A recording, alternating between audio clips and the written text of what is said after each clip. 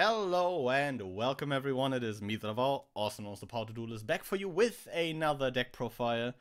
And with, you know, Battles of Legend Crystal Revenge releasing tomorrow, I felt like it was an appropriate time to finally talk about these dice-based cards we are getting in that set, as most of those are very interesting in Morphtronics. So let's take a look at those first, and then run over the deck list real quick. We are starting, of course, with the field spell here called Dice Dungeon. This field spell, when activated, allows you to add a copy of the mentioned dice from your deck to your hand, and at the start of the battle phase, you can activate this effect. Each player rolls a dice, and then, depending on the result, they apply one of the following effects on all monsters they control. Uh, they either lose a thousand attack if they roll a 1, if they roll a 2, they gain a thousand attack, if they roll a 3, they lose 500 attack, if they roll a 4, they gain 500 attack, if they roll a 5, they halve their attack, and if they roll a 6, they double their attack. Um, so definitely has some fun shenanigans there, but the main thing you are playing this for is to add a copy of Dimension Dice from your deck to your hand a normal spell card that allows you, if you control a card with an effect that requires a die roll, to tribute one monster you control and special summon a monster with an effect that requires a die roll from your hand or deck. This, of course, has some very powerful implications in Morphtronics, especially considering that cell phone, smartphone, and telephone all, all require a die for their effect to work. And tributing off a cell phone for a telephone is a pretty powerful interaction, if I might add that. So, Let's quickly run on the deck list. We are of course starting with three copies of Morphtronic Cellphone to be able to, you know, summon those Morphtronics from the deck by revealing uh, the cards from the top of our deck depending on the result of a die roll, while this guy is in attack position moving on to Morphtronic Smartphone. Smartphone is a special summonable level 1 tuner that you have that you have to first special summon from your hand by banishing a Morphtronic monster from your graveyard. And in attack position, he works very similar to Cellphone, as you roll a die, reveal cards from the top of your deck, but you're able to add an excavated Morphtronic card from those to the top of your deck, which is able to find you those powerful extenders like Converter and Repair Unit.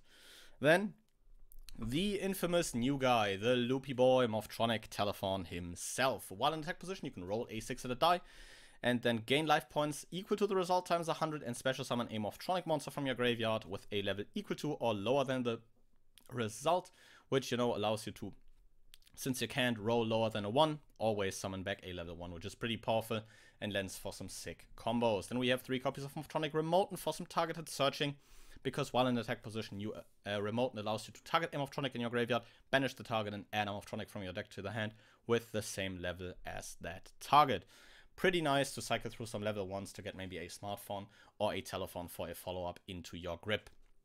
Three copies of Morphtronic Scopen are the next Morphtronic up in our lineup. Uh, while in attack position, this allows you to once per turn special summon a level 4 Morphtronic from your hand, but it gets popped in the end phase. Not a big deal, since in most cases you will be using that for a synchro play. And while in defense position, this is treated as a level 4, which is pretty neat, especially if you are aiming to make TG Hyper Librarian, which I think is a pretty neat card in a build centered around Dimension Dice. Playing one copy of Morphtronic Staplen, this could realistically be any level 4 Morphtronic uh, you would like to run here. Um, Staple and Boombox offer the advantage of being Earth, so you are more easily able to make Naturia Beast with those. Uh, Videon has some equip synergies. Um, Radion is just a decent normal summon if you're looking for that, and Slingen allows you to get like some spot removal in, which is fairly decent. Um, really doesn't make a huge difference, I think, which one to play here. Um, this one really comes down to preference.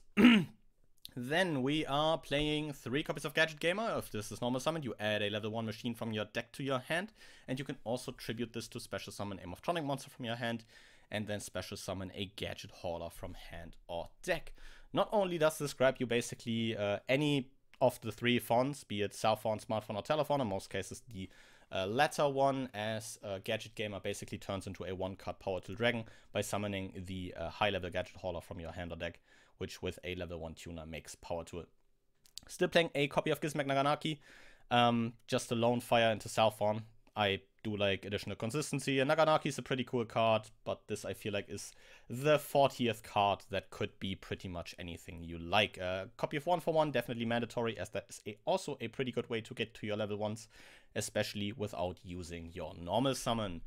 Three copies of Junkbox as a powerful archetypal reborn, three copies of Machine Duplication as one of those DM cards that are just waiting to be broken a copy of Monster Reborn for some generic revival, and a copy of Morphtronic, uh, three copies of Morphtronic Converter for a powerful archetypal extender. This allows you to target a machine you control and then apply one of the following effects depending on the battle position. If the target was an attack, you special summon a Morphtronic from your deck with a different name than your target and place the target on top of your deck. If it was in defense, change the target to attack, and then you can special summon a level 4 lower machine from your hand. Very sick, very sick. A Called by the Grave against those pesky hand traps, and three copies of Morphtronic Repair Unit, which is basically an archetypal premature burial, but it requires you to discard a Morphtronic from your hand to the graveyard. Jumping into the extra deck, we have the big Synchro boss himself shooting Quasar Dragon. This is just like, I guess, the biggest payoff if you really want to like commit for a Hyper Librarian line.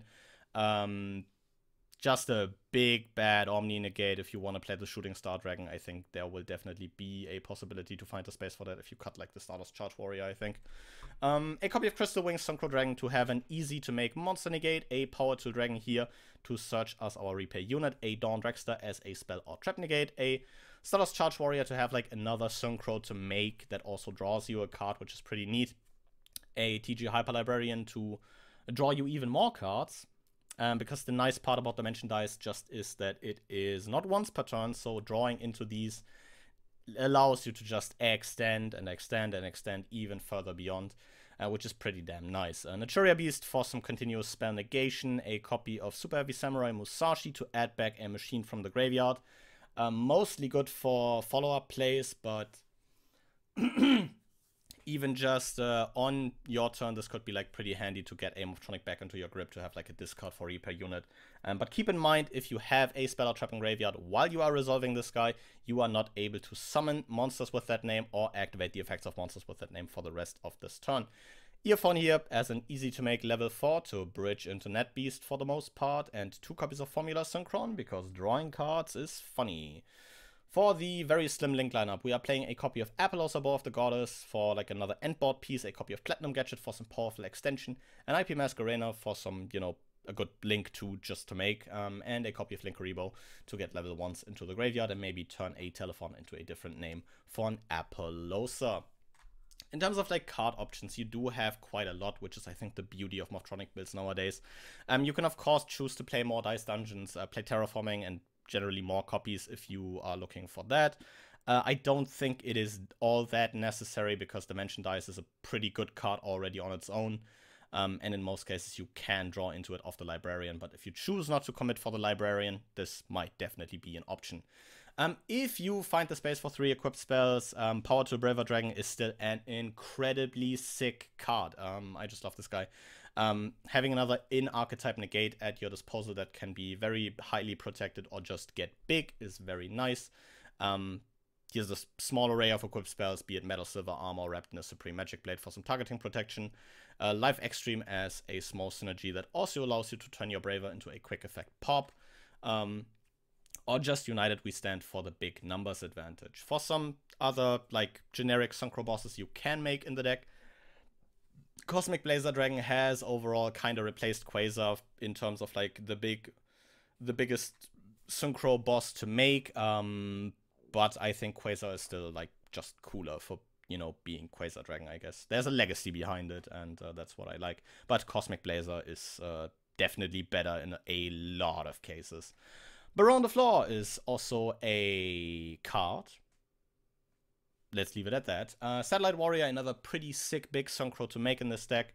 And Borreload Savage Dragon is in a similar spot. Um, what you can also definitely do is play more links. I think especially with Telephone, you do have a very, very great access to the uh, link toolbox. Uh, Underworld Goddess of the Closed World here being a personal favorite of mine for no particular reason but even, you know, generic links like Access Code Talker to close out games or Nightmare Unicorn and Nightmare Phoenix for some additional utility are just very nice to take advantage of.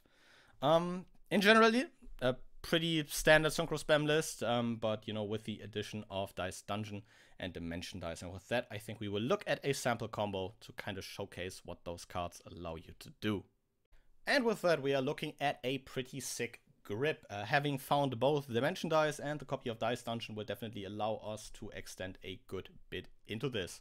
So, uh, let's get right at it by normal summoning a copy of Gadget Gamer to grab us a copy of Cellphone. I do get a bit greedy here and summon the Cellphone instead of the Telephone here because I figured I have a Dimension Dice in hand, so I am able to pretty well extend past that point. Never punished though, I do find a copy of Telephone off the top uh, to get back my Cellphone here, triggering that effect for a 2 and summoning a remote node from the deck. I do commit for a Power Tool Dragon here to grab me that repair unit I mentioned earlier, and I will use that swiftly to summon a telephone onto my field, resolving the effect, never punished, getting that statement out of my grave. Um, going for a remote here after making Crystal Wing to grab myself a copy of Smartphone, and that, what you just saw, is the interaction I was talking about previously.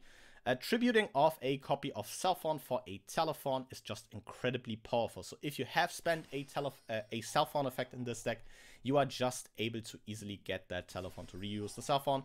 But uh, similar things apply for telephone as well. You just see me here kind of finishing off this combo uh, using the uh, rebo and the three bodies I had on the bot to make it big Apollousa, uh, trying to fish for maybe another like remote scope here. Um, since, you know, that would get me into Naturia Beast, but I don't find it. So I choose to, you know, take the Linkuriboh, put it where the Cellphone was, and end the turn here. Uh, Apollousa, Crystal Wing, and FA Dawn Dragster, basically four monster negates, a monster negate, and a spell or trap negate, definitely pose an imposing threat, especially considering that we do still have a pretty good amount of gas on the follow-up.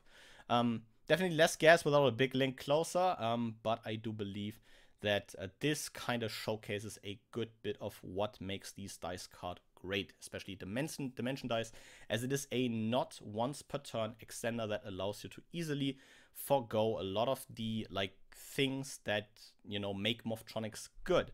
Um, you are working with a lot of soft once per turn clauses, so you know you can easily work around those with the card, which is pretty damn great. But I think we will get into my final thoughts when we have the deck list in front of us again.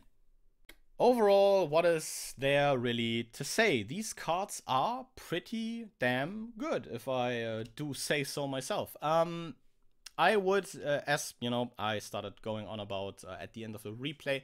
Uh, definitely, the biggest synergy these have is uh, between you know going uh, tribute off a Cellphone, summon a telephone, telephone effect, summon the Cellphone back, and then you know get back to summoning Morphtronics from the deck, but also just tributing off a telephone for another telephone gets you already into that telephone loop that a lot of re really heavily link spam based lists are very, very, very dependent on. And increasing the consistency on that line uh, definitely has a lot of value for especially link spam based builds. Um, as you know, Dimension Dice is fairly a, a fairly consistent card. Um, if you're maxing out on Dice Dungeons, if you're playing Terraforming, you can run essentially seven copies of this. Um, and, you know, between Gadget Gamer, Telephone, One for One, and even Gizmek Naganaki, Telephone is more accessible than ever.